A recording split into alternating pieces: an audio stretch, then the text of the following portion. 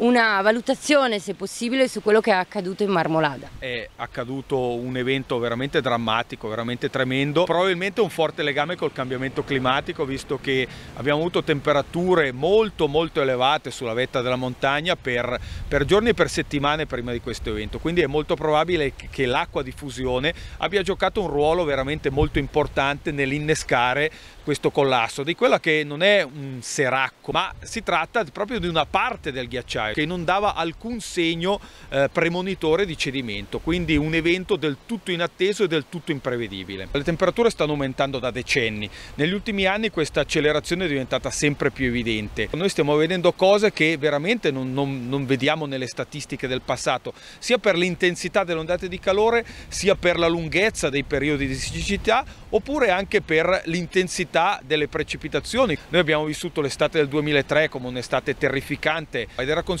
un'estate totalmente irripetibile dal punto di vista statistico e la realtà è che negli ultimi anni ci stiamo riavvicinando sempre di più a una distanza molto molto breve. Non è giusto rassegnarsi ma eh, ci deve dare uno spunto per cercare di impegnarci per stabilizzare il clima in futuro.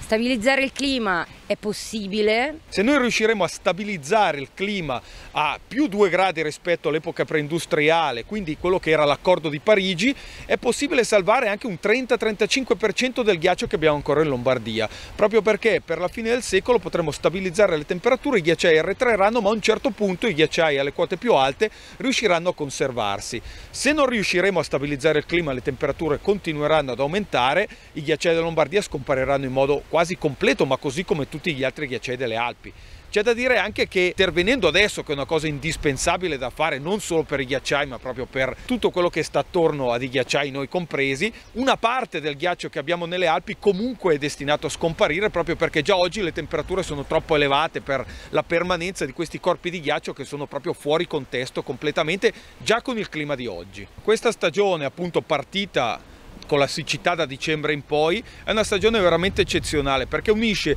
una siccità invernale ad un periodo di maggio che è stato il più caldo da quando si rilevano i dati. Si sperava in un recupero, invece del recupero abbiamo avuto temperature elevatissime che hanno fatto fondere quella poca neve rimasta dall'inverno e quindi questa doppia eccezionalità hanno provocato un deficit del, che arriva fino al 76% eh, nella, della neve sui ghiacciai. Siamo i primi di luglio e i ghiacciai sono nelle condizioni delle annate peggiori in settembre, quindi sono in condizioni di fine stagione. Quindi da qui in avanti dobbiamo capire cosa succederà perché se anche solo le temperature dovessero restare diciamo sulla falsa riga del mese di giugno andremo probabilmente incontro alla stagione all'estate più drammatica dei ghiacciai da quando si rilevano i dati con delle fortissime perdite eh, di spessore e anche scomparse dei ghiacciai più piccoli.